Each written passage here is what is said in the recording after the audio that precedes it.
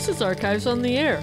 The Cisco Kid was famous as TV's Robin Hood of the Southwest, catching bad guys and righting wrongs. He was played in film and on television by actor Duncan Renaldo.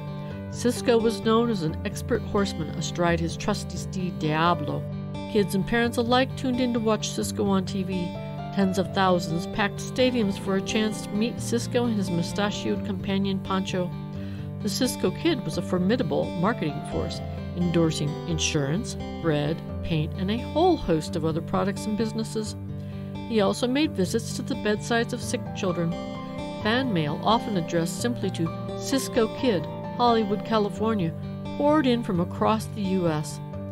Visit UW's American Heritage Center to read Duncan Renaldo's papers and learn more about his career as the Cisco Kid.